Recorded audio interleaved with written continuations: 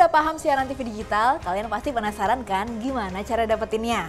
Pertama, kita cari tahu dulu jangkauan siaran TV digital di daerah kamu. Gampang, cuma pakai aplikasi sinyal TV digital. Kamu bisa tahu apakah lokasimu sudah ada sinyal digital atau belum. Bisa juga tahu ke mana harus mengarahkan antena rumah untuk mendapatkan sinyal TV digital yang paling kuat. Caranya, download sinyal TV digital di Google Play Store atau App Store, buka aplikasi dan izinkan akses lokasi.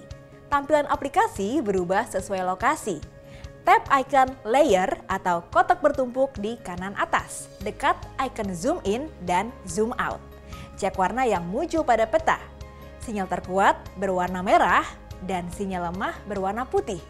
Selain bisa untuk melihat keberadaan sinyal, aplikasi juga memiliki fitur lain untuk menampilkan pilihan program siaran TV digital yang bisa ditonton di lokasimu. Segera download aplikasinya, cek sinyal di tempatmu, dan segera beralih ke siaran TV digital.